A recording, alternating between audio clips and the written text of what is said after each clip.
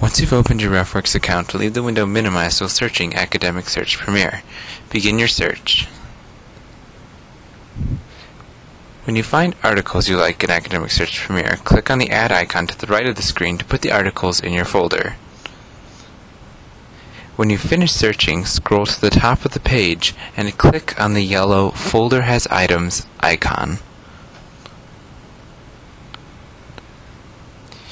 You should see information about all the articles you added to your folder while searching. Just above the list of added articles is a series of buttons labeled Print, Email, Save, and Export. Click on Export.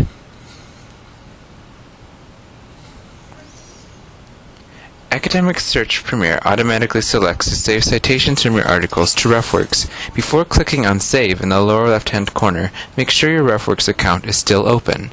If it is, click on Save.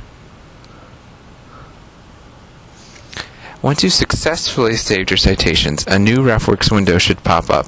Click View Last Imported Folder to see your new citations.